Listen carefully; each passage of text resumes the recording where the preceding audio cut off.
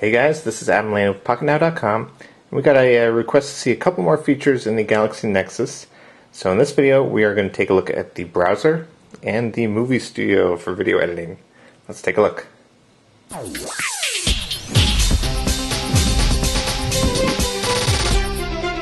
First off, let's look at the movie studio. Now this is a free video editor that uh, is included with the Galaxy Nexus and we can combine clips. Um, you can trim them, you can add transitions and effects. So here I have three clips are added. You can press the plus button to add more clips to that end or more clips to this end and we can drag along the timeline to see uh, the different video update up there. And if I tap one of the videos, here I can trim it a little bit and there's your check mark to apply that. When I have a clip selected, there's an FX button up there, and I can choose a couple different effects. There's gradient, sepia, and negative. Okay. this tiny little dot right there, that's your progress bar. So you have to wait for that to apply. It's very hard to see. So we're waiting, and it's going to apply that. Now the dot is over here. It's still rendering. Uh, we can also add titles. And here's your menu up there. We can export the movie. Okay, now we can also add transitions. There's already a transition there.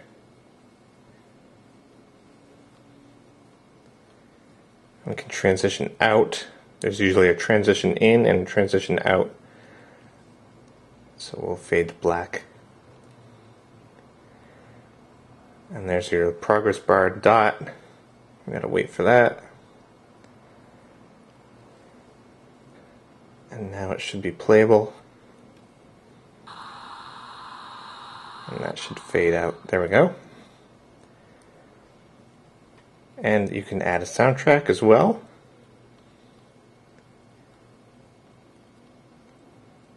So lots of cool features for a video editor. Uh, this is a free one bundled with the device. It's uh, similar to iMovie. It's not the first time a smartphone has come with a video editor. Uh, the Nokia N8 also had one, which was pretty similar. You just kind of put the uh, video clips in a row and uh, add transitions or titles, the usual kind of thing. So that's on the Nokia N8. So that's a very cool program. We're kind of slow rotating. There we go. Alright, next up, let's look at the browser. So this has been uh, redesigned a bit for Ice Cream Sandwich. We have your dot dot dot little menu up there instead of on a hardware button. And we have a really nice little feature, Request Desktop Site. So really quickly you can go to the desktop version of the website. And it works pretty good, pretty quick. Sometimes you gotta wait for other things to reload and show up.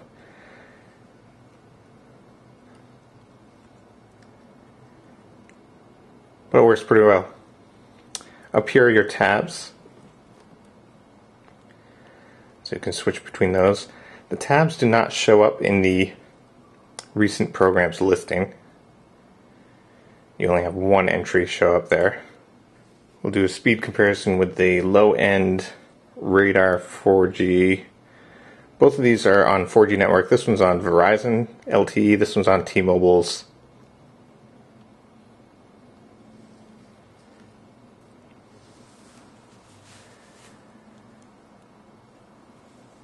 So here we have HTML5 rendering speeds. The bandwidth doesn't seem to matter much. It's the processing power. We have 39 frames per second over here and 19 over there. There's our speed reading test.